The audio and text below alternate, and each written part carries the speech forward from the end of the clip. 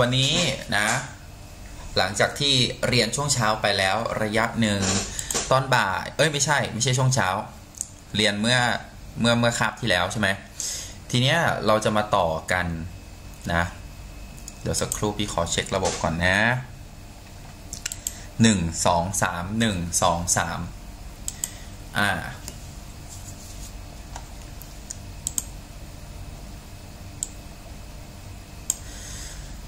เราจะมาว่ากันเรื่องของฉันทลักษณ์มันก็จะมีจุดสำคัญอยู่ ไม่กี่จุดที่เจาะข้อสอบได้นะฉันทลักษณ์คืออะไร แปลจากหลังไปหน้า เพราะว่ามันเป็นการเข้าสมาธิสนธิกัน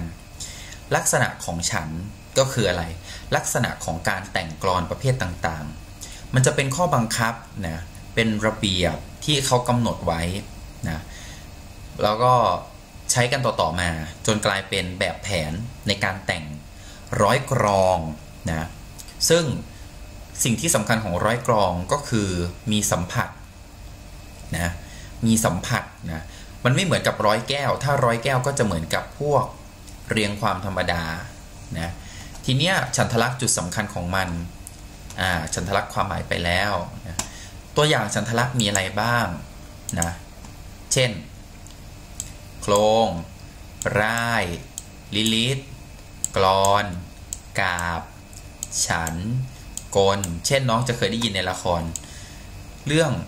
อะไรนะที่เพิ่งจบไป จะพูดถึงกลบทกบเต้นต่อยหอยอะไรอย่างเงี้ย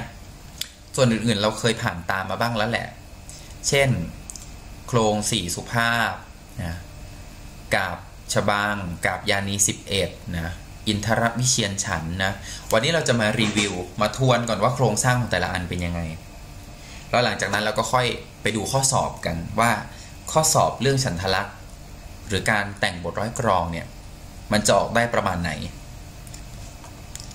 คำประพันธ์ที่ดีประกอบไปด้วยอะไรบ้างลูก ข้อความดี สัมผัสดี แต่งถูกต้องตามแบบบังคับนะอ่าผ่าน ทีนี้มาพูดถึงเรื่องครุละหูเอกโท มาพูดถึงเรื่องคำเป็นคำตาย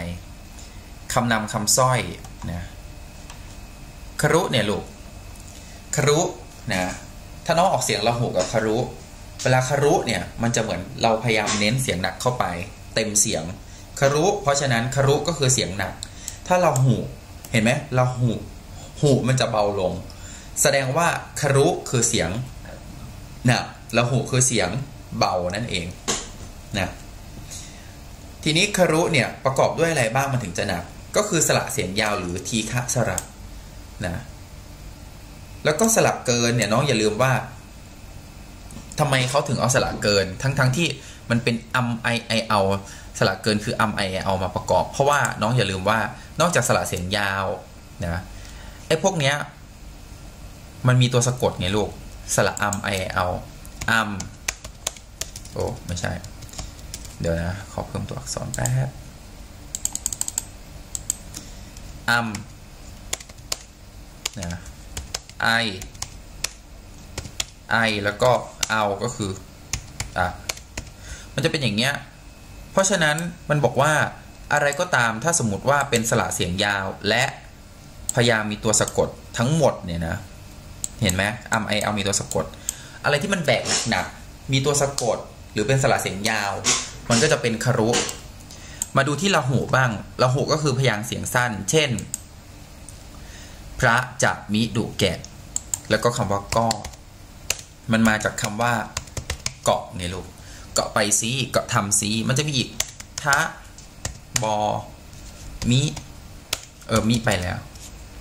อะไรอย่างเงี้ย ซึ่งทะนะอะไรพวกเนี้ย มันจะเป็นพยางเสียงสั้นแค่สระอะเนอะก็อันนี้พวกเป็นละหัวเสียงเบา มันจะอย่าไปสับสนกันกับคำเป็นคำตายนะ คือคารุเนี่ย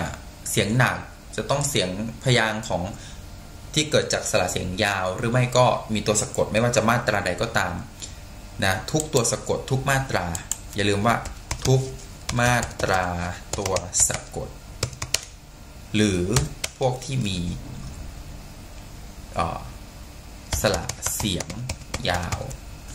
ใช้เกณฑ์นี้ ส่วนนี้คือสระเสียงสั้นอย่างเดียวเลย ทีนี้พยางค์เอกก็คือพยางค์ที่อะไรวรรณยุกรูปเอกเนี่ย พ่อแม่พี่ปู่ชิชะมากมากทำไมชิชะมากมากถึงมาอยู่ในพยางเอก น้องจำไว้ดีๆนะลูก บรรดาคำตายนะสามารถใช้แทนพยางเอกได้ในโครงนะและร่ายนะทำไมถึงใช้แทนได้ น้องดูคำว่า ปากสิลูก ปากปากคำว่า ปาก เป็นเสียงอะไร ปากปากปากปากปากเป็นเสียงเอกมันก็เลยคำพวกที่มันสะกดด้วยเป็นคำตายเนี่ยนะที่มันสะกดด้วยแม่กระบทเนี่ยนะมันจะสามารถแม่กระบทก็ได้ หรือสระเสียงสั้นก็ได้ ก็จะเป็นคำตายใช่ไหมซึ่งพวกคำตายพวกเนี้ยคำตายเนี่ยสามารถเอาไปแทนในพยางค์เอกได้นะคำตายเนี่ยสามารถเอาไปแทนในพยางค์เอกได้นะใน โครงแล้วก็ร่าย มันก็เลยมีชิชะมักมากมาด้วยไง เพราะว่าอันเนี้ยแม่กอแม่กบแม่กบนะอันนี้ก็เป็นสระเสียงสั้นซึ่งอยู่ในคำตายจำไว้ว่าคำตาย แทนเอกได้นะโทก็นี่ไง เสียงโทจำไว้ว่าเสียงโทก็ต้องโท ไม่มี อะไร ไม่ใช่ว่าจะเอาเสียงโทมาแทนพยางโท เออจะเอาคำเป็นมาแทนพยางโตไม่มีเอานะ ไม่มีเอาอะไรมาแทนได้ อย่าลืมนะ คณะไม่ต้องพูดถึงเนาะ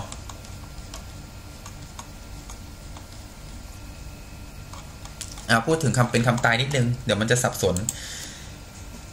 เมื่อกี้เราบอกว่าอย่างคารุ ลาหุคือพยางหนักพยางเบาคารุก็คือทุกตัวสะกดและรวมไปถึงเขาเรียกว่าอะไรนะเขาเรียกว่า สระเสียง ยาว แล้วก็มีตัวสะกด คือสระเสียงยาวหรือตัวที่มีตัวสะกด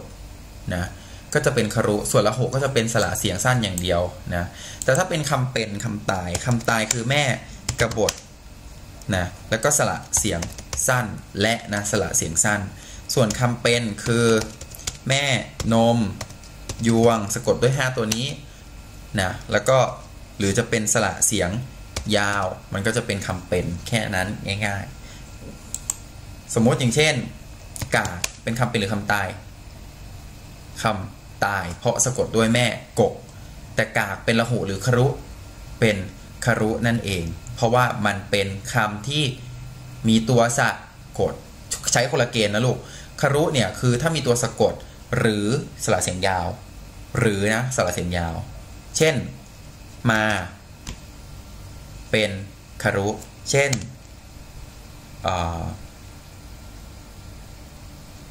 ผี เนี่ย เป็นคารุ เช่น เช่น เช่น กอด เนี่ย เป็นคารุ แต่ถ้าละหูเช่น ทิ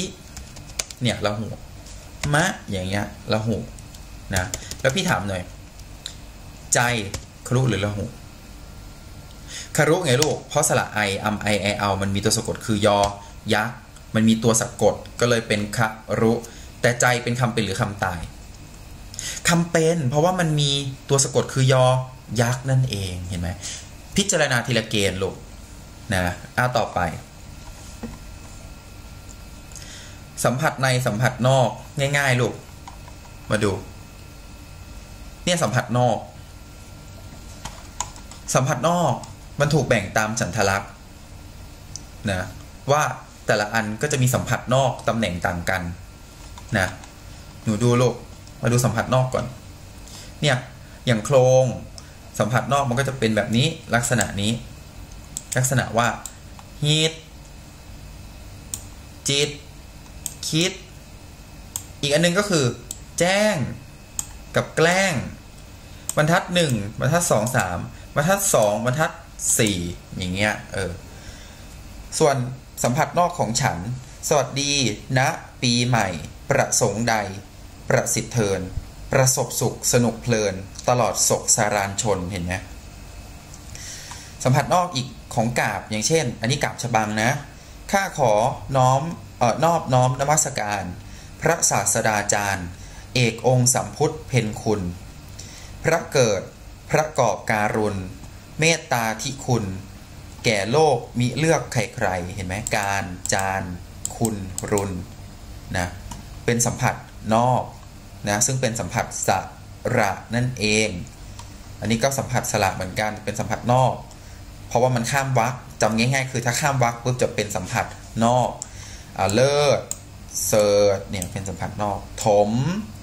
คม เป็นสัมผัสนอก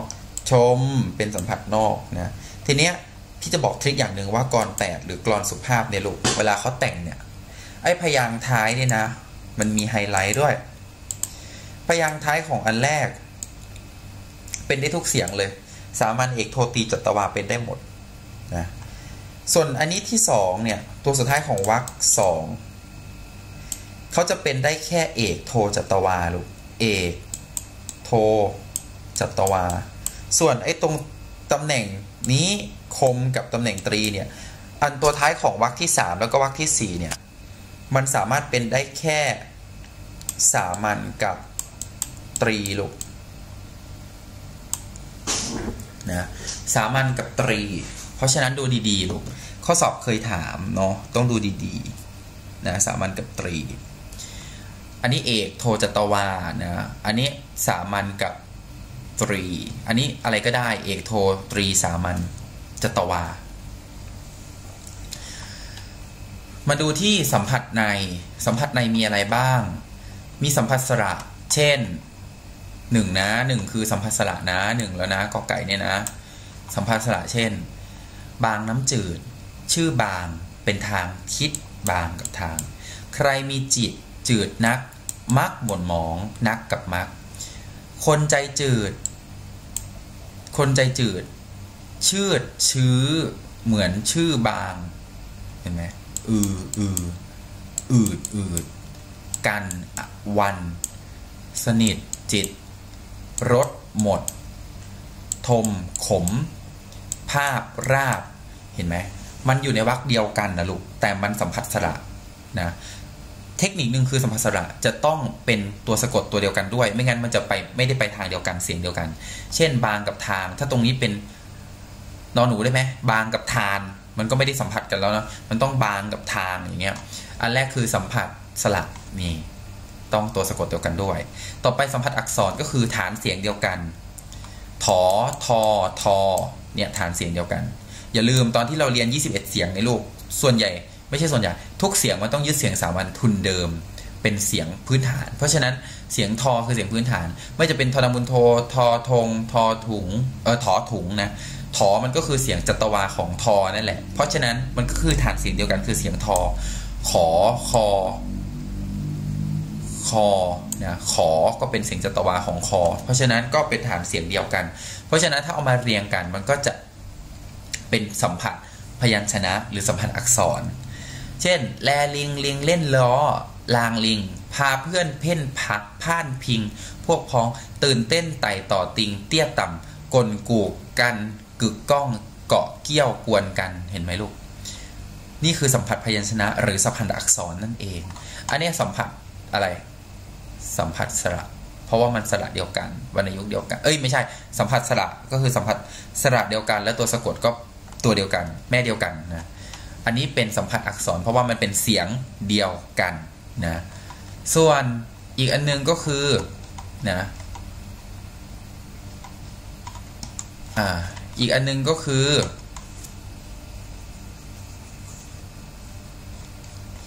สัมผัสที่พี่จะเสริมให้ก็คือ สัมผัสวรรณยุกต์อะเออเนี่ยสัมผัสเสียงคู่กัน คือใช้อักษรต่ำชนิด อักษรคู่ 14 ตัว อักษรสูง 11 ตัวนะกลุ่มนี้ก็จะเป็นนะผีฝากข้าวสารให้ฉันฐานถุงนะ อักษรสูงเนี่ยผีฝากข้าวสารให้ฉันฐานถุงนะกลุ่มนี้จะเป็นนะคนไทยเฮฮาใช้โซ่พันฟาง ข้าวคนคอขอไอเสียงคู่นี้มันเป็นเสียงคู่กันนะเพียงแต่ว่าไอคอเนี่ยมันเป็นอักษรต่ำ คอเนี่ยคนไทยเฮฮาใช้โซ่พันฟาง แต่อักษรสูงคือไข่เอ่อผีฝากข้าวสารให้ฉันฐานถุง จะเป็นเสียงสูงของเวอร์ชั่น อักษรต่อักษรต่ำคือคอ อักษรสูงคือขอ อักษรต่ำคือชอ อักษรสูงคือฉอ แล้วพอมาเรียงกันมันจะกลายเป็นการเล่นเสียงเสียงคู่นะต่ำสูงต่ำอะเออหรือเขาเรียกว่าสัมผัสวรรณยุกต์หรือสัมผัสเสียงสูงต่ำคูนแคขิงข่าขึ้น เคียงคาง แฟงฟักไฟฝ่อฝาง ฝิ่นฝ้ายเห็นไหมมันจะแบบต่ำต่ำต่ำสางใสโศกใสโศก สนสาง ซ่อนซุ่มเนี่ยเป็นเสียงโทละสางเป็นเสียงสามัญไซเสียงสามัญโศกโศกโศก เสียงเอกสนสนสนสนสนเสียงจัตวา มันจะแบบว่าเป็นฐานเสียงเดียวกัน แต่เล่นวรรณยุกเพิ่มขึ้นเสียงเพิ่มขึ้นอย่างเงี้ย มันจะไม่เหมือนตัวนี้แล้วนะ มันจะไม่เหมือนตัวแลลิง ลิงเล่นล้อลางลิงเนี้ยอันนี้มันจะเป็นเสียงโทนเดียวนะพาเพื่อนเพ่นพ่านพิง พวกพ้องอะไรเงี้ยแต่อันนี้มันจะขึ้นสูงต่ำสูงต่ำสูงต่ำเนี่ยนะเพราะฉะนั้นมันก็จะมี 3 อย่างคืออสัมผัสสลับสัมผัสพยัญชนะ แล้วก็สัมผัสวรรณยุกนั่นเองคำเป็นคำตายทวนไปแล้วนะคำเป็นก็สะกดด้วยแม่ อะไรโกงกลมเกยนะกลนะ หรือพูดง่ายๆ ก็มีวอด้วย ก็เป็นแม่นมยวงนะหรือสระเสียงยาวนะแล้วก็อัมไอเอเอาด้วย เพราะว่าอัมไอเอเอามันมีตัวสัตว์กดเป็นแม่นมยวงนั่นเองอัมก็มอม้าไอก็ยอยักษ์ไอก็ยอยักษ์เอาก็วอแหวนไงลูก เพราะฉะนั้นก็จัดอยู่ในคำเป็น ส่วนคำตายก็คือแม่กะบทนะแล้วก็รวมไปถึงสระเสียงสั้น ซึ่งเขาบอกว่าเวลาแต่งโครงเนี่ยสามารถใช้คำตายไปแทนคำเอกได้ ต่อไปคำสร้อยคือคำที่ไม่ได้ค่อยมีความหมายอะไร แต่ว่าจะทอบเอาเข้าไปเป็นคำอุทาน ไปเป็นคำแบบเหมือนเพิ่มให้ไพเราะขึ้นอะไรอย่างเงี้ย เช่น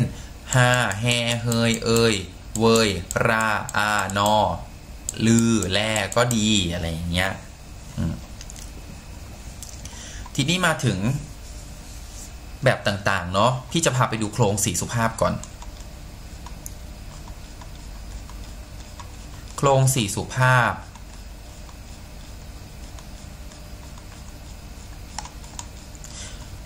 สี่สุภาพมี4บาท1 2 3 4แต่ละบาทมี2วักนะดูดีๆ แต่ละบาทมี2วักมี4บาทแต่ละบาทมี2วัก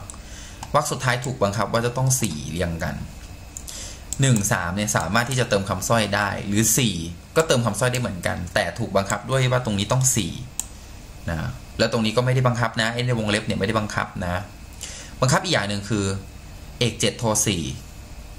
เอกเจ็ดอย่างนี้ลูกตำแหน่งมันอยู่อย่างนี้นะแล้วก็ตรงนี้ครบสองตรงนี้ครบสองตรงนี้ครบสองนะก็โทรเอกเจ็ดโทรสี่ลูก เอกเจ็ดตำแหน่ง โทสี่ตำแหน่ง แล้วทีนี้สัมผัสนะก็คือตรงนี้ลูก โทษนะ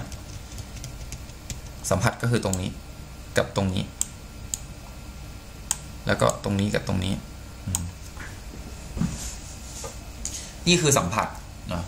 ถ้าเป็นคำอะไรตรงนี้ต้องคล้องสอดคล้องคล้องจองกับตรงนี้ ตรงนี้เหมือนกันนะแล้วก็บรรทัดที่ 2 ก็คือบรรทัดที่ 4 สอดคล้องกันนะจะต้องคล้องจองกัน มาดูตัวอย่างบ้างนะแคคางคุยข่อยขึ้น อันนี้เอกโท เคียงคา คูณแฮน้องดูนะ ตำแหน่งนี้นะ กาเว่ากาหลงกา กู่ร้อง กระเด็น เออกระเต็นไต่เตงตา ตามเหยื่อยวนแฮ อันนี้เป็นวงเล็บเนาะเพราะว่าไม่ได้บังคับ แหนหนันหนองมองจ้อง จ้องกับร้องอะจึงแจ้ง จริงใจ อันนี้จ้องโทอันนี้เอกอันนี้เอกอันนี้เอกนะอันนี้โทอันนี้เอกเอกครบละโอเอกเจ็ดโทสี่เนาะ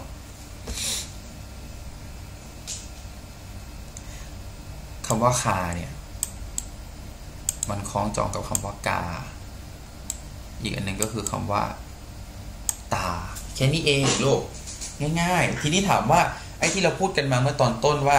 สามารถใช้คำตายเนี่ยแทนตำแหน่งเอกได้นะก็คือตรงนี้ลูก เอกต่างๆ เนี่ยสามารถใช้คำตายได้ เพราะว่าอะไร เพราะว่าคำตายเนี่ย ส่วนใหญ่แล้วเนี่ยไม่ใช่ส่วนใหญ่หรอกคำตายยกตัวอย่างง่ายๆ ที่เทคนิคการจำก็คือคำว่าปากคำว่าปลาเฉยๆมันคือเสียงสามัญใช่ไหมปลาปลาปลาปลาปลาแต่เติมกอไก่ไปปุ๊บเป็นคำว่าปาก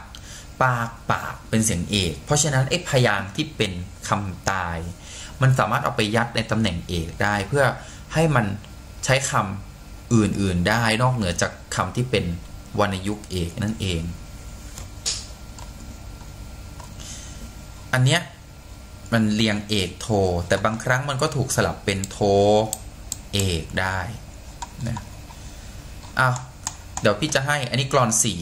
เออโครงสี่สุภาพ สมบูรณ์สี่ใช่ไหมสมบูรณ์ครบห้าเนี่ยสี่แต่ถ้าน้องกลับไปดูเนี่ยนะ ของโครงสามเนี่ยมันจะสมบูรณ์อยู่สามนะแล้วตัวสุดท้ายก็จะแบบว่ากระป๊อดกระแป๊ดอะมีอะไรโผล่มาอะไรเงี้ย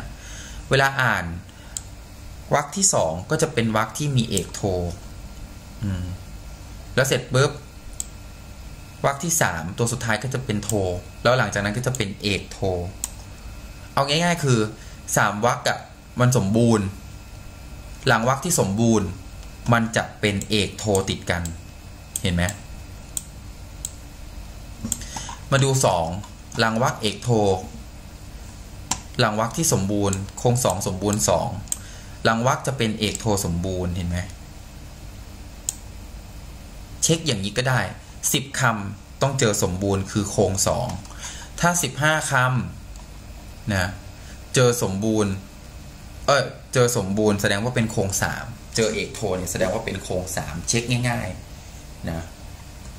เช็คหลังสมบูรณ์ สมบูรณ์สามวรรควรรคที่สี่ขึ้นต้นมาจะต้องเป็นเอกโทเออแล้วก็นับไปว่า แต่ละวรรคมันมีห้าเพราะฉะนั้นคำที่สิบหกสิบเจ็ดต้องเป็นเอกโท ในโครงสามนะ ส่วนโครงสองเนี่ยคำที่ 11 12 จะเป็นเอกโทนั่นเองนะเช็คแค่นี้นะก็จะสามารถทำได้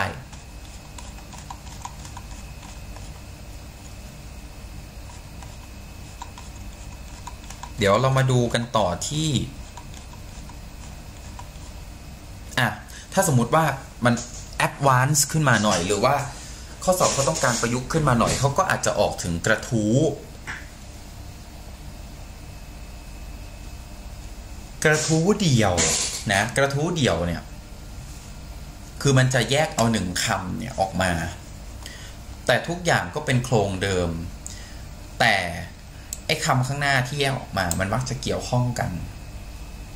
ถ้าไม่ใช่คำเดียวกันก็ต้องเกี่ยวข้องกัน เช่น รักอาจญาติเพื่อนพ้องเพียงใดก็ดี ชาติยิ่งเหนือสิ่งไรรักแท้ ยิ่งราดร่วมรักไมตรีมิตรสมานแฮ ชีพสละเพื่อชาติแล ชาติเรืองอารยันเห็นไหมแยกออกไป ส่วนกระทู้สองก็คือแยกออกมาสองคำกระทู้สามก็คือแยกออกมาสามคำแล้วก็จะเป็นโครงเหมือนเดิม อันนี้เรียกว่ากระทู้หนึ่งสองสามก็ว่าไปนะ เอาต่อไปกระทู้สี่ก็เหมือนกันนะยังเป็นโครงเหมือนเดิมเนาะต่อมาอันเนี้ยแอดวานซ์เกินไป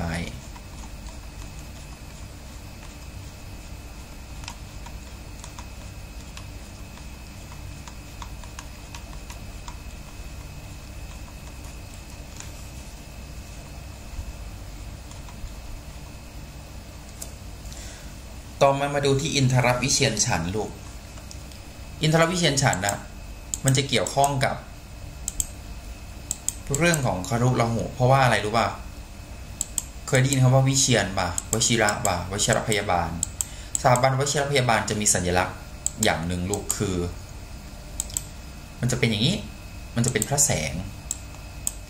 แล้วก็มีงูเลื้อยสองฟากนะ แล้วก็ฟลุกขึ้นมาอย่างเงี้ย แล้วอีกฟากหนึ่งก็มี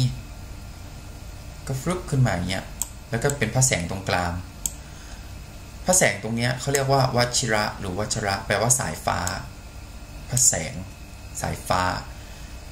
อินทรวิเชียนฉันก็เป็นฉันที่มีจังหวะการกระแทกเนี่ยมันสายฟ้า ของพระอินทร์เนี่ยนะอินทระอาวุธของพระอินทร์กระแทกให้เป็นเสียงคารุละหูทีเนี้ยไอ้ตำแหน่งที่เขาขีดสีชมพูอะลูก มันคือละหูคือเสียงเบา หรือพยางสั้นสระอะสระอีอะไรอย่างเงี้ยสระเสียงสั้น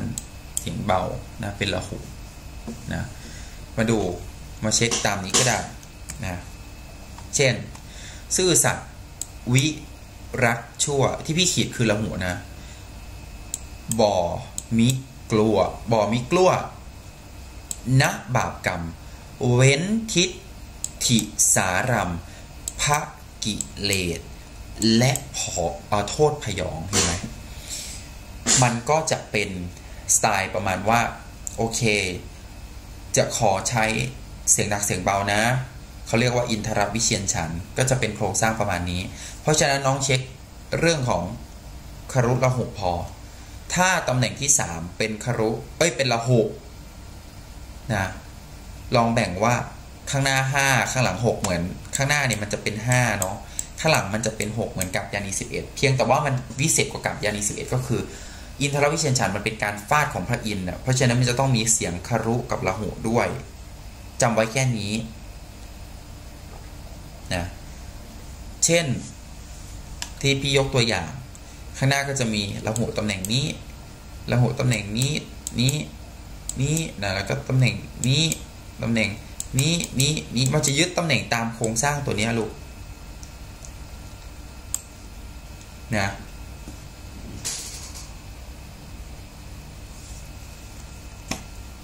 นี่ก็คืออินทรวิเชียนฉัน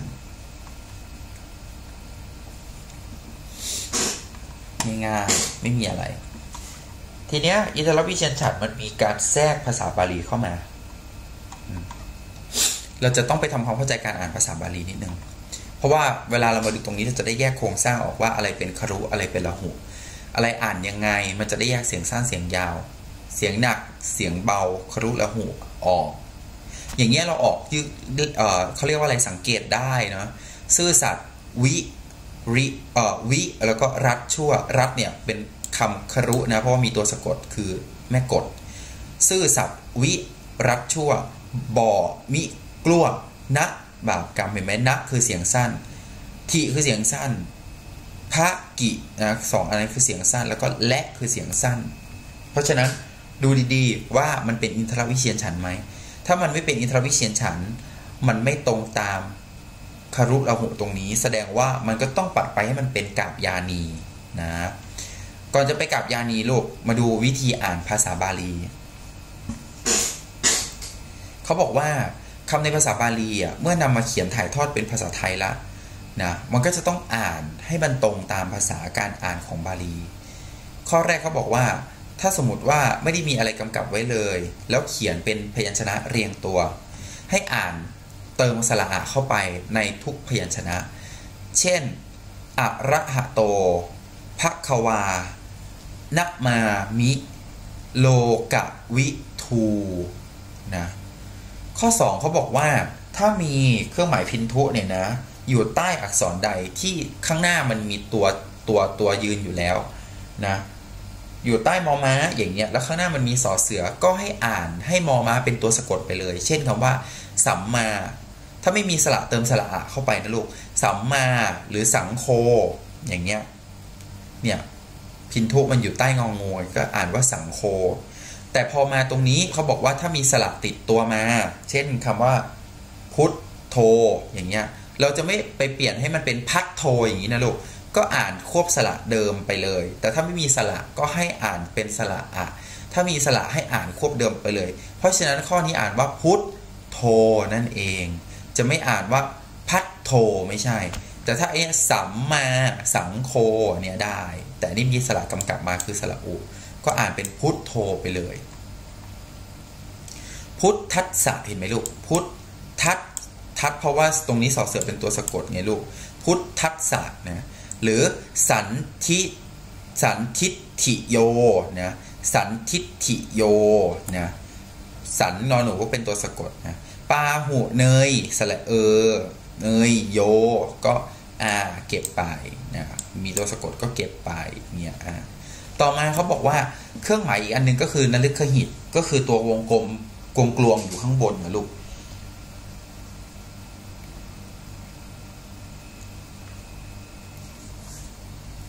นฤคหิตเนี่ยนะ ถ้ามีอยู่บนตัวไหน เขาจะให้เติมสระอะแล้วสะกดด้วยงองูไปเลย เช่นอะระหังนะเช่น สังคัง เช่นธรรมัง เช่นสระนัง เช่น อัญยังอย่างเงี้ยอย่าลืมจุดนะ จุดคือตัวสะกดนะ เออ แต่ถ้าสมมุติว่าเขามีสะกดสระมาด้วย อย่างเช่น พา แล้วก็ปุ๊บนะตึงวงกลมข้างบนแล้วก็ข้างล่างวงกลมนี้ต้องกลวงอย่างเงี้ยเขาอ่านว่าพาหุง ก็คือตัดตรงนี้ออกไปแล้วเติมงองูได้ทันที ไม่ต้องไปเติมสระอะเป็นพาหังอะไรอย่างเงี้ยไม่ต้องนะ ต่อไป เขาบอกว่าเครื่องหมายพินทุเนี่ย ถ้าสมมติอยู่ตัวไหนที่มันมีตัวนำอยู่แล้ว มันจะเป็นตัวสะกด แต่ถ้าสมมติมันอยู่ตัวหน้าสุด ให้อ่านโคกล้ำมาเลยลูก เช่นคำนี้พอมันอยู่ข้างหน้าสุด ปกติมันอยู่ตัวที่สองใช่ไหมมันจะเป็นตัวสะกด แต่ถ้ามันอยู่หน้าสุดเมื่อไหร่ ให้อ่านสวาขาโต สวากขาโต อ่านสวากไปเลยลูกสวากขาโตคือพูดง่ายๆ ถ้ามันปิดหลัง ถ้าจุดมันอยู่หลัง ก็อ่านนะให้มันเป็นตัวสะกด แต่ถ้าจุดมันอยู่หน้า ก็ให้อ่านควบกล้ำแค่นั้นเอง เอามาดูที่กาบยานีกาพย์ยานีข้างหน้า 5 ข้างหลัง 6 ลูก เหมือนกับอินทรวิเชียรฉันท์แต่มันไม่ได้ fix เรื่องของครุกับลหุนั่นเอง มัน fix แค่ว่าข้างหน้า 5 ข้างหลัง 6 แล้วก็มีสัมผัสสัมผัสตรงนี้ลูก เหมือนคล้ายๆกับอินทระนั่นแหละ คล้ายๆกับกลอนแปดด้วยนะเนี่ยคล้ายกลอนแปดเลยคำที่หนึ่งกับคำที่สามคำที่หนึ่งกับคำที่สามคำสุดท้ายกับคำสุดท้ายตรงนี้คำสุดท้ายกับคำสุดท้ายตรงนี้ แล้วก็คำสุดท้ายของบาทหนึ่งเอ้ยคำสุดท้ายของบทหนึ่งกับคำสุดท้ายของบทที่สองบาทที่สองนะก็จะสัมผัสกัน เรามาดูอ่าดูโครงสร้างแป๊บหนึ่งก็ได้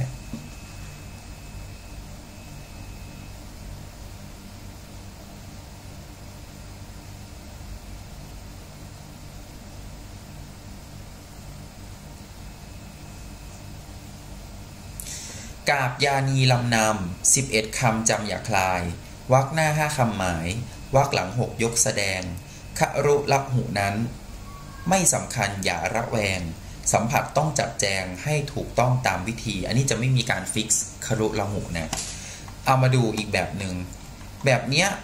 เขามีสัมผัสหนึ่งสามแต่มันมีบางอย่างที่เขาไม่ใส่เข้าไปก็คือไอ้ตัวสัมผัสตรงเนี้ยเออเนี่ยตัวบรรทัดล่างเนี่ยนะจริง ๆ แล้วมันก็ต้องสัมผัสกันแหละมันคล้ายๆกับกรสุภาพหรือกรแปดอะตรงนี้สัมผัสกับตรงนี้ นะตรงนี้สัมผัสกับข้างบนนะแล้วก็ตัวนี้นะก็ยังสัมผัสกับตัวนี้แล้วก็สัมผัสกับตัวนี้ด้วยอย่างเงี้ยอ่ามาดูนี่ไงกับยานีลำนำเอ้ยไม่ใช่ไม่ใช่ ชายตาเออชายตาชายหาเจ้า สายตาเยาวยวนวิญญาชายหาดดาดนาวา ชายองคา พานุจร หัวหิน หัวหาดเหินนะโอบระเดิน แดนสาครนะลุยคลื่นรื่นสมอนเอวอ่อนช้อน เช่นมัดฉา เห็นไหมมันจะคำหนึ่งกับคำสามจะทุกวรรคเลยเนาะอะกับยานีไปละต่อไปกับฉบัง กับฉบังน้องนึกถึงบทสวดเด้อให้น้องนึกถึงบทสวดที่เป็นเหมือนกับว่า คือบางบางสกุลนะพี่นึกถึงบทสวดไงพี่พยายามจะจำด้วยวิธีของตัวเองเออบทสวดยังไง เช่น มันจะแบ่งเป็นหกสี่แล้วก็หกเนี่ยหกสี่แล้วก็หกหกสี่แล้วก็หกนะเอามาดู ฉบัง 16 ควร ถ้อยคำสำนวน พึงเลือกให้เพราะเหมาะกัน อันนี้อาจจะไม่ครบ 6 นะ เพราะว่ามันเป็นวรรคแรกไงเขาแต่งขึ้นมาเพื่อแบบสละสลวยอะวักหน้าวักหลังรำพันวักหน้าวักหลังรำพันเออ อันนี้ครบหกวักหนึ่งพึงสันอันนี้ก็สี่พันกับสันควรกับสำนวนนะกันกับพันอย่างเงี้ยแต่พันก็จะมาคล้องจองกับสันอย่างเงี้ยเทินเชิญ เงี้ยเพลินใจเงี้ยเวลาอ่านก็วักหน้าวักหลังรำพันวักหนึ่งพึงสรรใส่วักละคำเออใส่วักละหกคำเทิน อันนี้มันจะเป็นเหมือนกับว่าเหมือนบทสวดอะไรสักอย่างหนึ่งอะ่ะเออเวลาที่เราเข้าหอประชุมตอนเด็กๆใช่ไหมเอออันนี้ก็ต้องแบบลองอ่านแบ่งให้มันเป็น 6 4 6 ถ้าเขาให้มาแค่ 16 คำลองแบ่งเป็น 6 4 6 ถ้า 16 คำมันไม่ตรงกับกับฉบังนะ น้องก็ต้องกลับไปเช็คที่ไรรู้ปะ16อะ่ะ 16อะไม่เกิน 16อะก็คือโครงสองนั่นเองลูกที่เราเรียนมาเมื่อตอนต้นเนาะอะอันนี้กับฉบังเป็น 6 4 6 แล้วก็มีคล้องจองด้วยนะ แล้วก็แปลกอย่างหนึ่งก็คือว่ามันมีอยู่แค่ 3วรรคหนึ่งบทหนึ่งบทจะมีอยู่แค่ 3วรรคแค่นี้เออเอามาต่อที่สุรางคนามกันบ้าง สุรางคนาง ก็จะมีอยู่ 2 ชนิดคือสุรางคนาง 28 และสุรางคนาง 32 แต่สุรางคนางมันพิเศษอย่างหนึ่งลูก คือแบ่ง 4 แบ่ง 4 แล้วอ่านรู้เรื่องของจองนะมาดูตัวอย่าง มันจะเป็นแบบเนี้ยตัด 4 ตัด 4 ตัด 4 ตัด 4 7 4 28 อีกแบบหนึ่งคือตัด 4 ตัด 4 ตัด 4 แต่ 7 4 เออ 8 4 เป็น 32 นั่นเอง มาดูเนาะ สุรางคนางกำหนดบทวาง 28 คำ บท 1 7วรรคเป็นหลักพึงจำวรรคหนึ่งสี่คำ แนะนำวิธี หากแต่งหลายบทจำต้องกำหนดบัญญัติจัดมีคำท้ายวรรคสามต้องตามวิถี สัมผัสกันดี ท้ายบทต้นแลเห็นไหมมันจะแบ่งเป็นสี่แล้วมันจะอ่านแล้วคล้องจองเนี่ยสุรางคนางง่ายนิดเดียวเองลูกอ่ามาดูกราบกราบห่อโครงบ้างรีวิวเนาะ กาบมาก่อนกาบยานีก็ได้นะแล้วก็โครง นี่คือกาบห่อโครงก็คือกาบมาก่อนโครง จบ สังเกตง่ายๆ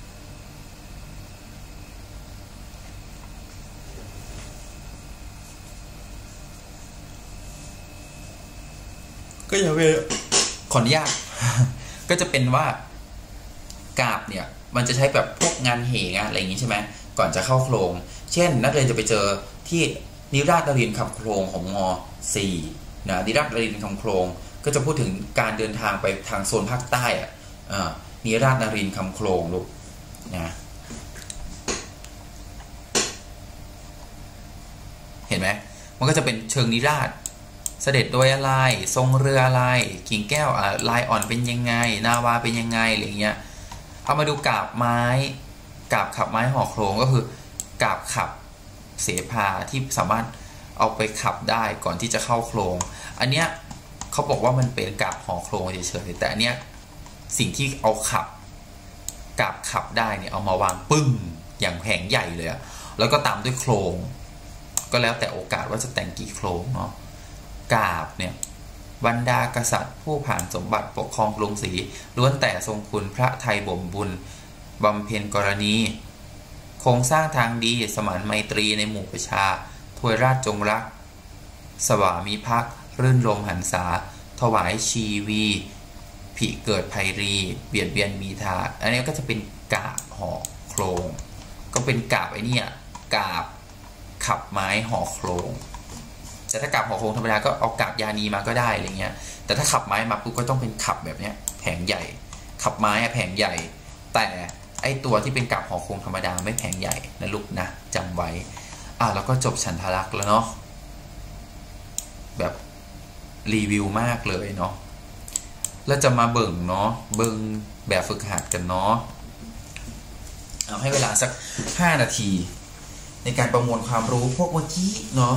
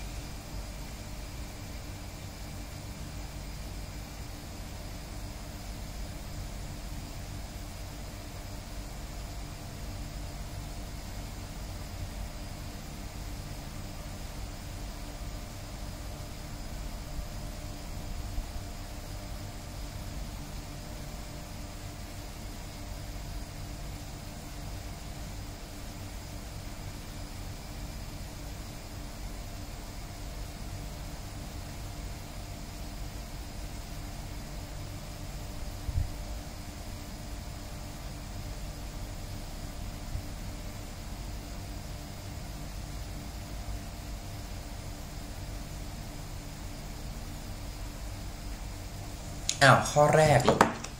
ข้อใดเป็นคุณลักษณะที่ที่เด่นที่สุด ที่เด่นที่สุดลูกที่เด่นที่สุดคือ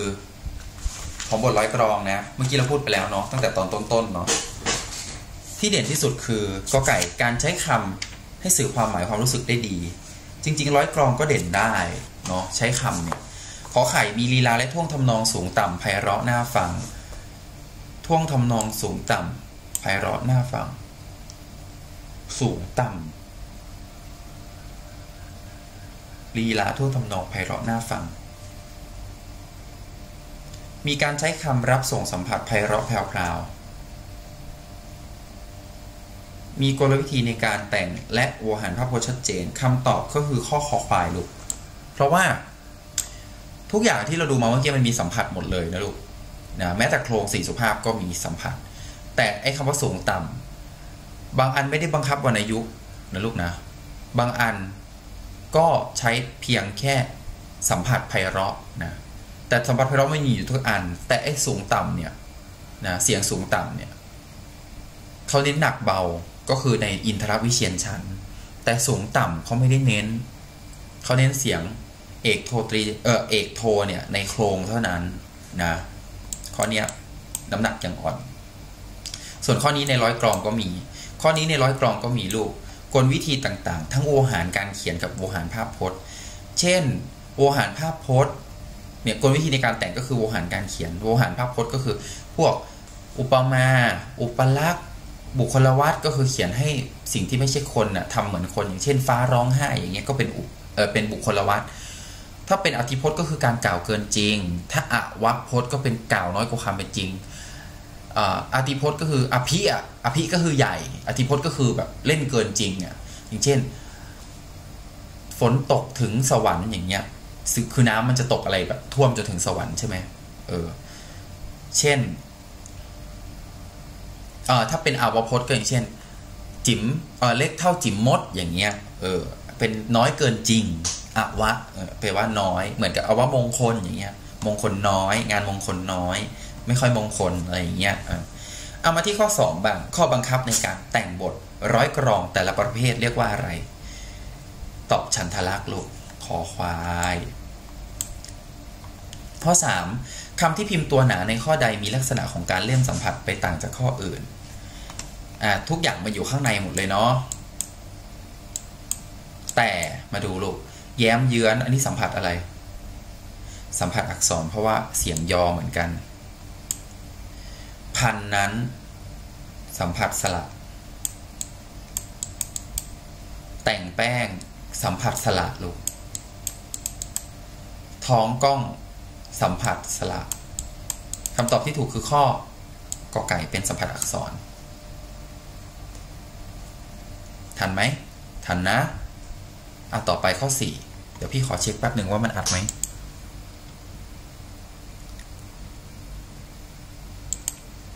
ข้อ 4 แล้วรีบรัดจับพลรณยุทธ์ตั้งที่นามครุฑปักษา วางกองเยื้องกันเป็นฟันปลา ให้โยธาคอยยิงชิงชัย จากบทแรกกรองที่กำหนดคำคู่ใดมีลักษณะการรับส่งสัมผัสแตกต่างจากข้ออื่น เอามาดู รัดจับ เป็นสัมผัสในนะ ปลา สา เป็นสัมผัสนอก ปลา ทา เป็นสัมผัสนอก ยุดครุฑเป็นสัมผัสนอก เพราะฉะนั้นตอบข้อกอไก่ลูกเป็นสัมผัสในอยู่ตรงนี้เลย สัมผัสสระอยู่ข้างใน แต่อันอื่นเป็นสัมผัสสระที่เป็นสัมผัสนอก ไม่ใช่สัมผัสในนะลูกนะอะต่อไปข้อ 5 ข้อใดมีคำเป็นมากที่สุด ข้อใดลูกมีคำเป็นมากที่สุด ไม่นับคำซ้ำด้วยนะอะกอไก่กอไก่คำเป็นคำไหนบ้างเนาะคำเป็นกอไก่ก็คือคำว่า ทั้ง หนาว ลม พรมน้ำค้างราว ไหน ผา ลา เย็นคำเป็นคือสะกดด้วยแม่นมยวง และเออหรือนะพวกสระยาวนะเพราะฉะนั้นข้อกอไก่อะมันมีหนาวลมพรมน้ำค้างพราวไหนผาลาเย็น มี 11คำลูกข้อ 2 มีคำว่า นุ่ง ตา งา ห่ม ผ้า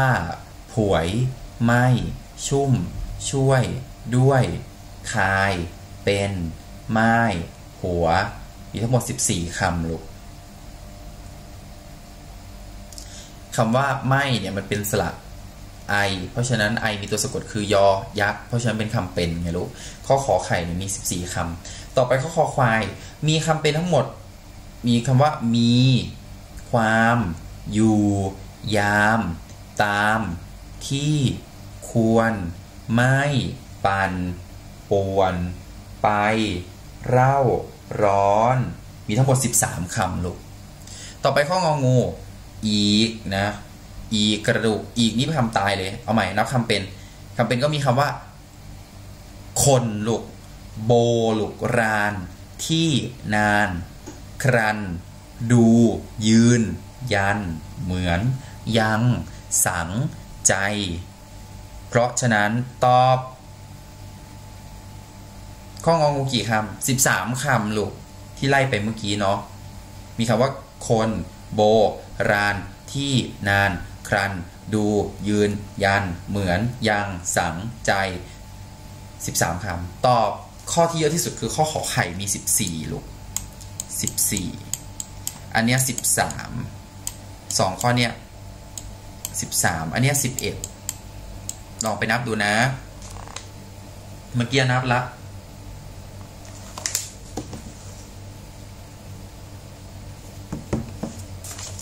ต่อไปข้อ 6 ถามคำตายลูก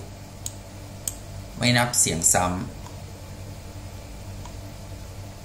ข้อกอไก่คำตายคือคำว่า จะ เสียงสั้นลูกซากแม่กระบท สิเสียงสั้นมีสามคำข้อขอไข่มีคำว่าเล็ดแม่กด ระเสียงสั้นสองคำเนาะอันนี้สามอันนี้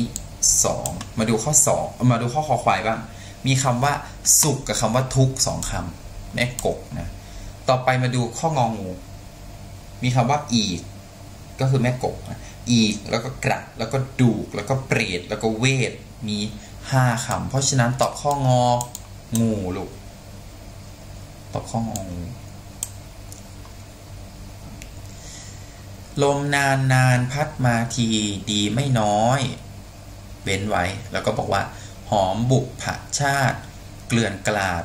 บรรดามี ชื่นฤดีสุขใจหาใดเทียมนะ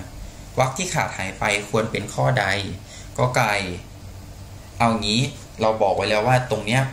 สามารถเป็นได้ทุกเสียง ตรงเนี้ยเสียงไม่สามัญก็ตรี ตรงเนี้ยไม่สามัญก็ตรี ตรงเนี้ยเป็นเอกเป็นโท แล้วก็เป็นจัตวา แล้วคำที่สามก็ต้องคล้อง น้อยคำที่สามคอย หน่อย ลอย ลอย อะ เอกโทจัตวาคำว่าปีคำสุดท้ายตรงนี้จะเป็นเสียงปี ปีปีปีปีปีปี เสียงสามัญไม่ได้ซีสีซีซีสีเสียงจัตวา ตรีเสียงสามัญไม่ได้ ผิดข้องอผิด นี้นีนีนี่นี้เสียงตรีไม่ได้ เสียงสุดท้ายเนี่ยไม่ได้ เพราะฉะนั้นคำตอบที่ถูกคือข้อ ขอไข่นั่นเองลูกเพราะว่ามันเป็นเสียงจัตวา มันผ่านมันได้ไงแต่ข้ออื่นอันนี้เป็นสามัญอันนี้เป็นตรี อันนี้ก็เป็นสามัญนนะเฉลยคือข้อขอไข่นั่นเองลูกอะไปดูข้อแปดอะให้เวลาคิดนิดนึง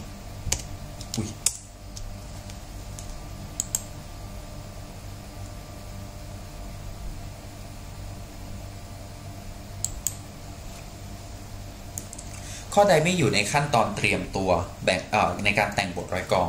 ขั้นเตรียมคือขั้นนี้ลูกศึกษารูปแบบใช่ สะสมคำก็คือสะสมแบบอ่านเยอะๆอะเอาไว้มาแต่งอย่างเงี้ยใช่ ขอปรึกษาใช่ ดู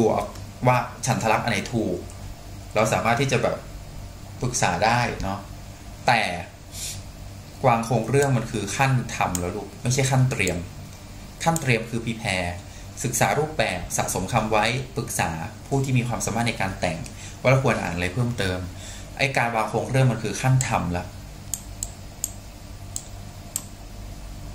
นะต่อข้อควายลูกข้อ 9 ข้อใดกล่าวถึงข้อบังคับในการแต่งโครงสีสุภาพไม่ถูกต้องไม่ถูกต้อง ข้อกอไก่หนึ่งบทมีสี่บาทถูกไหมถูกสี่บรรทัดไงลูกหนึ่งบาทก็มีสองวรรคถูกอีก วรรคหน้ามีห้าคำสมบูรณ์ห้าห้าคำไงลูกห้าคำสี่บรรทัดไงลูกสมบูรณ์ถึงเรียกว่าโครงสีสุภาพที่พี่บอกไปวรรคหลังมีสองคำยกเว้นวรรคหลังของบาทที่สี่จะมีสี่คำถูกไอ้บรรทัดสุดท้ายนี่นะวรรคหลังเนี่ยจะถูกบังคับว่าต้องมีสี่บล็อกเลยอะสี่ตำแหน่งสี่คำอย่างเงี้ยเออข้อเนี้ยถูกลูกต่อไปขอไข่ อนุญาตให้ใช้คำสร้อยได้เท่าที่จำเป็นในตำแหน่งท้ายวรรค ของบาทที่ 1 และบาทที่ 3 ถูกต้องนะ เพราะว่าบาทที่ 1 บาทที่ 3 มันจะมีสัญลักษณ์วงเล็บเนี่ยวงเล็บไว้ลูกจำได้ใช่ไหมแล้วก็มีจุด 2 จุด ที่สามารถแบบใส่คำสร้อยเข้าไปคำสร้อยคือคำที่มีความหมายเพื่อความไพเราะเฉยๆ ในบาทที่ 1 และบาทที่ 3 ข้อนี้ถูก ต่อมานิยมสัมผัสพยัญชนะมากกว่าสัมผัสสระ และใช้คำบทหนึ่งประมาณ 30-34คำน้องนึกดูนะ ข้างหน้ามี 5 ใช่ไหมห้าสี่ยี่สิบ กับตรงนี้ 2 2 2 แล้วอันสุดท้ายถูกบังคับเป็น 4 ใช่ไหม4บวก2บวก2บวก2เป็นเท่าไหร่ เป็น 10 5 4 เป็น 20 10บวก20 เป็น 3 10 แต่ถ้าสมมติว่ามันมีบรรทัดที่ 1 กับ 3 ที่พี่เนี่ยสองอันเนี้ยบรรทัดที่ 1 กับบรรทัดที่ 3 มันเพิ่มมาอีกอย่างละ 2 อย่างละ 2 ก็เป็น 34 เพราะฉะนั้นข้อนี้ถูก แล้วเขาบอกว่านิยมสัมผัสพยัญชนะมากกว่าสัมผัสสระถูก เพราะอะไรรู้เปล่าน้องอ่านยังไง มันก็ไม่คล้องจองหรือโครงอะมันเป็นเพื่อความไพเราะทางทางวรรณยุกต์เอกกับโท อย่างเช่นธรณีนี่นี้เป็นพยาน เราก็สิทธิ์มีอาจารย์หนึ่งบ้าง เราผิดท่านประหาร เราชอบ เราบอผิดท่านมาล้างดาบนี้คืนสนองน้องว่ามันคล้องจองไหมมันไม่คล้องจอง แต่ไอ้ที่บอกว่าที่พี่โยงให้ดู เรื่องเนี้ย เนี่ยที่มันต้องคล้องจอง เพราะว่ามันแค่คล้องจองในเรื่องของเนี่ยบางพลางอย่างเงี้ยกับนางอย่างเงี้ยมันแค่คล้องในบางบาทบางวักแต่มันไม่ใช่ว่าเหมือนกรอนสีสุภาพหรืออะไรอะ่ะกับยานี11ที่จะต้องแบบทุกวักอะไรเงี้ยมีคล้องแบบคล้องจองสลักตลอดเวลาอะไรเงี้ยคล้องกับคล้องอย่างเงี้ยเออมันไม่ใช่ว่าทุกพักจะทุกวักจะต้องมีส่วนร่วม แต่ว่าอย่างอื่นอะมันมันเป็น ใจความสำคัญเลยก็คือเรื่องอย่างเช่นโครงเอ่อกรอนสุภาพหรือว่ากาบยานีอันนั้นมันคือมีฉันทลักษณ์ที่เชื่อมโยงสัมผัสทุกวักจริง ๆ แต่ว่าโครงสีสุภาพเขาเน้นอีกทางหนึ่งก็คือเอกโทนั่นเอง อันนี้ถูกเพราะว่าเขาเน้นสัมผัสพยัญชนะมากกว่าสระถูกแล้ว แล้วก็ 30-34 คำ มาดูงองูกำหนดให้ใช้คำรูปเอก 7 คำ รูปโทสี่คำเอกเจ็ดโทสี่ถูกต้อง อนุโลมให้ใช้คำตายแทนคำรูปเอกถูกต้องเหมือนกันที่พี่ยกตัวอย่างครับว่าปาก เพราะว่าปากปาก ปากคือเสียงเอกยัดเข้าไปได้เลยคำตายยัดเข้าไปแทนคำเอกได้ในโครงนะลูกนะคำตายก็คือคำพยางสั้นนะเช่นสระเสียงสั้นต่างๆ หรืออีกอันนึงก็คือสะกดด้วยแม่กะบทกบดอนั่นเอง ทีนี้เขาบอกว่าคำเป็นแทนคำรูปวรรณยุกโท อันนี้ไม่ใช่ลูกข้ององูผิด มีแค่กฎเดียวคือกฎคำตายแทนเอกคำเป็นแทนโทไม่มีลูกไม่มี มีแต่คำตายแทนเอก only one อย่างเดียวเท่านั้นลูก มาดูข้อสิบเขาใช้บทความนี้ลูกจากมา มาลิ้วล้ำลำบาง บางยี่เรือราพลางพี่พร้อง เรือแผงช่วยพานางเมียงเมียงม่านมานา บางบ่อรับคำคล้อง คล้าวน้ำตาคลอเขาถามว่า ลักษณะเด่นที่ถือเป็นแบบอย่างในการแต่งโครงสีสุภาพ พี่จะเลือกช้อยที่มันสามารถพิสูจน์ได้ร้อยเปอร์เซ็นถ้ามันไม่ผิดถึงจะไปช้อยอื่น การเปรียบเทียบให้ภาพเห็นชัดภาพ มันก็จะชัดทุกอันนะลูก ถ้าเขาจะแต่งให้ชัดมันก็ชัด ให้คำที่กระทบความรู้สึก อ่า อันนี้วางไว้ก่อน สัมผัสและสัมผัสสระและสัมผัสพยัญชนะไพเราะแผ่วๆ บอกแล้วว่าเขาเน้นสัมผัสพยัญชนะจากสระเนี่ยไม่แพรวๆผิด เพราะฉะนั้นเหลือกอขอคอลูกเปรียบเทียบมีไหมเปรียบเทียบภาพ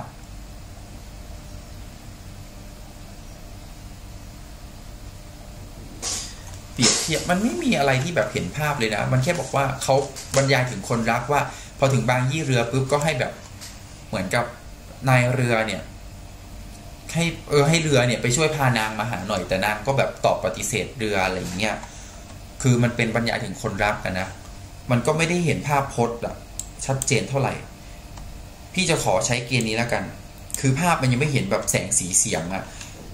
อย่างวรรณยุกกับเอกกับโทเนี่ยมันเช็คได้ลูกเขาถามว่าลักษณะเด่นของโครงสีสุภาพ อันนี้เอกอันนี้โทดูตามตำแหน่งเลยลูก อันนี้เอกอันนี้เอกอันนี้เอกนะตำแหน่งสามเหลี่ยมตรงนี้ กับสามเหลี่ยมตรงนี้เอกเอกเอกสามเหลี่ยมตรงนี้ แล้วก็มีโทตรงนี้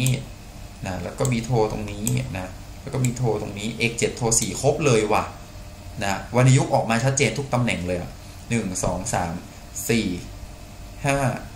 หกเจ็ดโทก็หนึ่งสองสามสี่เพราะฉะนั้นตอบข้อ ขอไข่มีรูปวรรณยุกต์เอกและโทครบตามฉันทลักษณ์ลูกทันไหม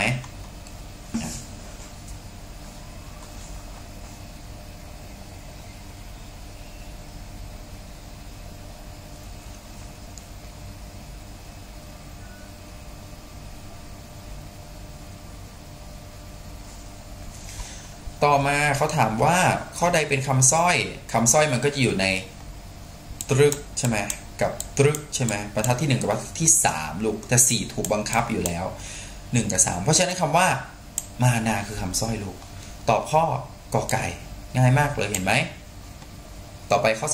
12 โครงสีสุภาพข้อใดไม่มีการใช้คำตายแทนคำรูปเอกเลยอ้าวเช็คทีละช้อยส์เอกโทคดเคี้ยวอันนี้มีไหมมีตัดทิ้งเลย เขาบอกว่าไม่มีการใช้เลย อันนี้มีการใช้แล้วจุดหนึ่งตัดทิ้งเลย คด เคี้ยว มันจะเป็นเอกโทในตำแหน่งนี้ลูกอ่ามาดูตรงนี้ เอกโทได้ เอกเอกเอกนี่ไงคำว่าบอกไงลูก อันเนี้ยใช้ละใช้คำตายมาแทนเอกนะต่อไป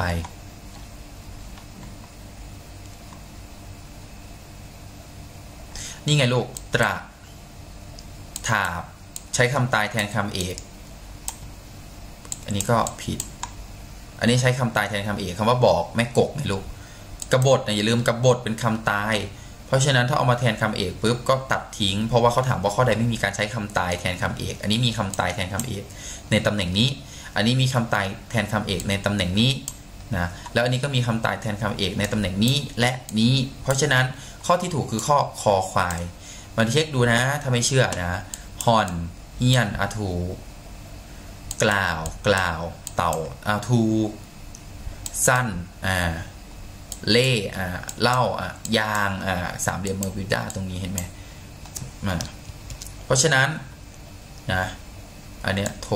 อันเนี้ยโทไม่มีการใช้เอก ไม่มีการใช้นี่เลยคำตายแทนคำรูปเอกเลย ก็คือข้อคอควาย อันเนี้ยบอกเป็นคำตาย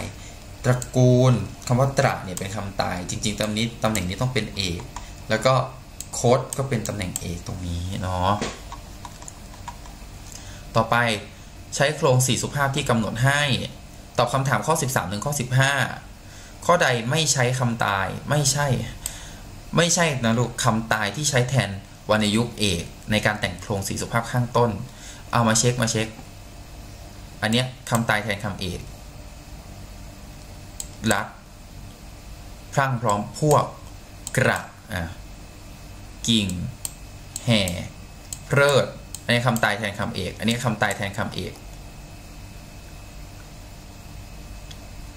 อันนี้โท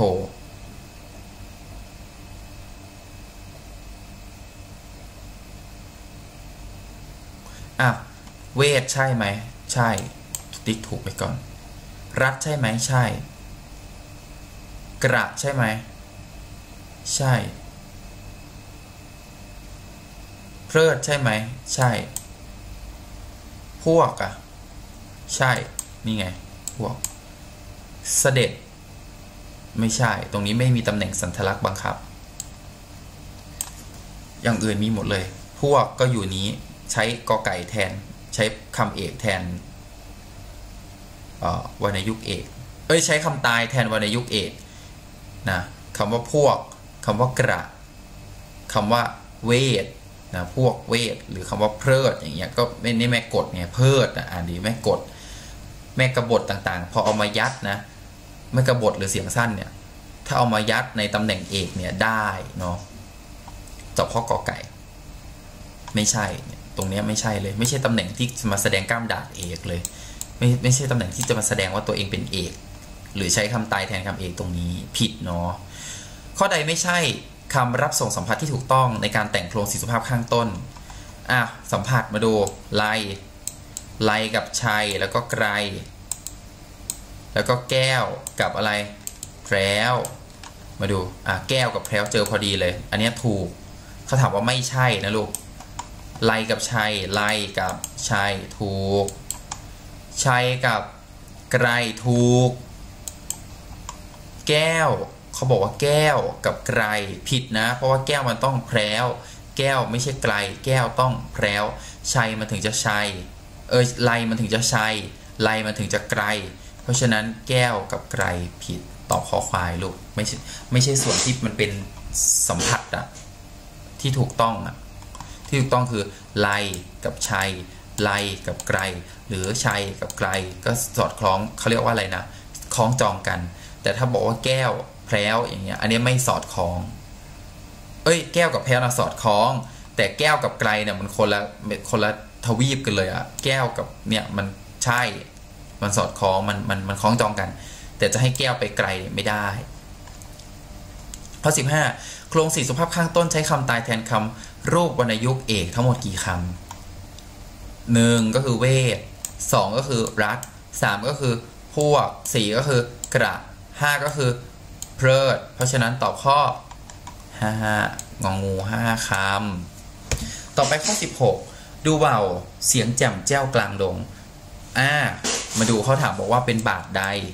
แจ่มแจ้วอะถามไว้บาทใดลูกที่มีเอกโทรมาอันแรกเลยเอกโทรมาคำที่สี่คำที่ห้าบาทที่หนึ่งลูกตอบบาทที่หนึ่งครับ ข้อ 17 ข้อใดควรเป็นบาทที่ 4 บาทที่ 4 ต้องบังคับ 4คำเนาะบังคับ 3 บรรทัดเลย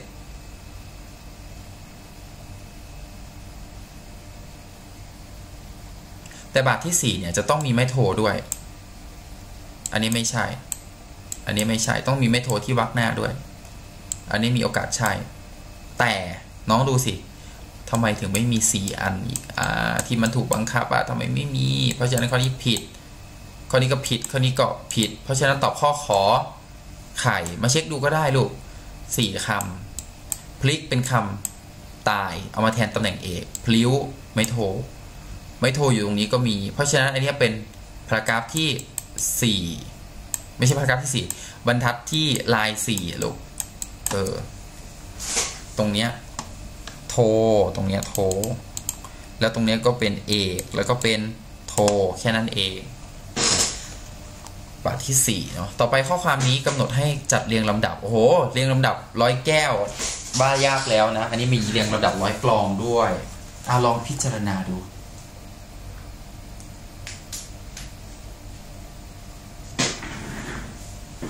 เอาอะไรขึ้น เอาอะไรปิดอย่างนี้ก่ะปิดคือต้องสี่อันล่างสุดต้องสี่เพราะฉะนั้นสี่ปิด ตัดข้อนี้ทิ้งได้เลยนะลูกมาดูเอาจะจะเอาอะไรขึ้นอันแรก ที่มีเอกโทอยู่ตำแหน่งเนี้ย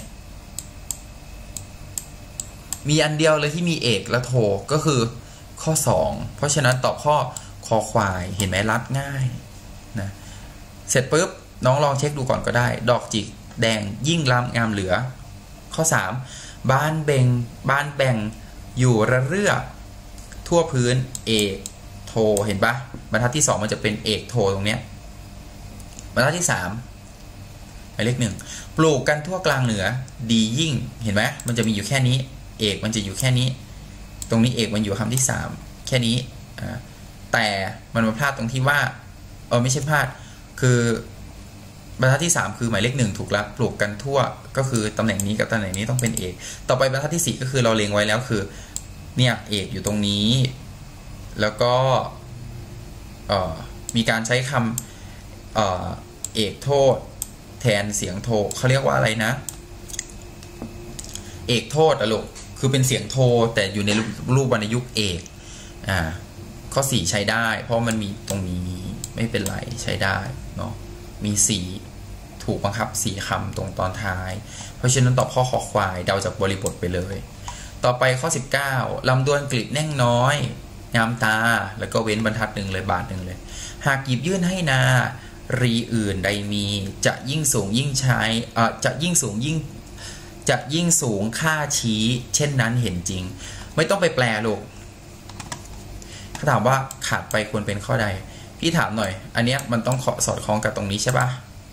แล้วก็ตรงนี้ด้วยใช่ปะอ่าถูก เพราะฉะนั้นมันต้องเป็นสระอาแม่งดันสระอาหมดเลย แต่มันพีคตรงไหนรู้ปะคำนี้มันจะต้องสอดคล้องกับคำ นี้เราไม่สนใจหรอกว่าโครงใครจะแต่งเพราะไม่เพราะไม่เคยอ่าน แต่เราเริ่มสังเกตไปหรือเปล่าว่าตรงนี้ต้องสอดคล้องกับตรงนี้นะเพราะฉะนั้นมันต้องเป็นสระอีสระอีแล้วก็ไม่โทด้วยนะเพราะว่าตรงนี้เป็นชี้ตรงนี้ก็ต้องเป็นเอกโท เอกโทมีอันเดียวคือเออเอกโทมีเท่านี้ก็ได้นะ หรืออ๋ออย่างนั้นไม่ได้ เพราะตรงนี้มันต้องเป็นสระอีเอกโทที่เป็นสระอีเอกโทที่เป็นสระอีมีสองอัน เอกโทสระอีเอกโทสระอีอะอะไรที่มันจะตัดสินละ่ะอ๋อตำแหน่งเนี้ยมันจะต้องมีเอกอยู่ในตัวที่สองเพราะฉะนั้นก็คือตัวนี้นะตอบข้ององูนะเอกตรงนี้แล้วก็เอกโท อันนี้ไม่มีเอกตัดทิ้ง อันเนี้ยมีเอก แต่อันเนี้ยไม่ไม่มีสระอี ไม่มีสระอีแล้วมีไม่โท เป็นสระอะอย่าลืมว่าตรงนี้มันต้องคล้องก็จองกับตรงนี้ด้วยนะข้อ 20 อันนี้ง่ายละโครงสีสุภาพคือวรรณยุกต์เอกโทอะวันนี้พอแค่นี้ลูก เดี๋ยวมาต่อกันวันหลังเนาะขอบคุณมากสำหรับที่การตั้งใจเรียน